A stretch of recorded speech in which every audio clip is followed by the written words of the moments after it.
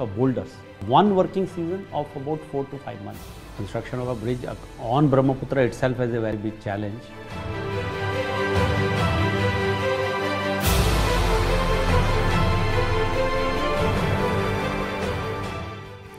The structure is massive.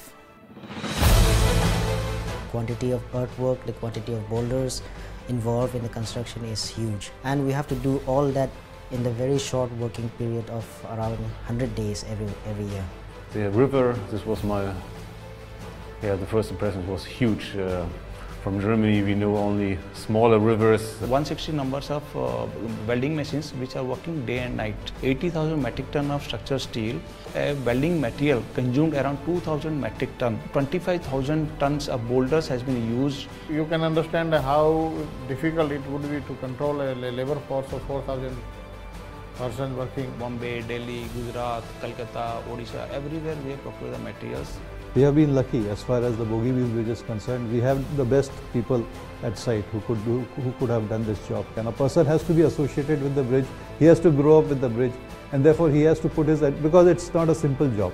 It is a time-consuming and it, job, and it requires a lot of sweat and blood.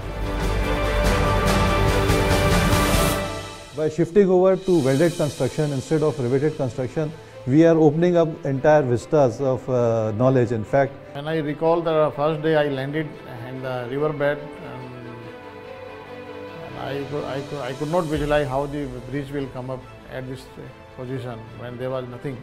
I'll say it has been the most satisfying period of my career of having created something out of nothing.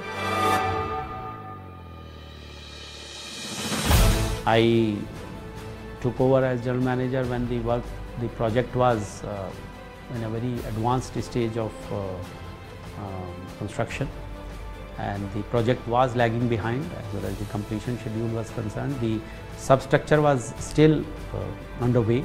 It was a great experience to bring the project back on the schedule, expediting the whole thing ensuring that the there are no further delays, uh, a very rich experience as far as I am concerned.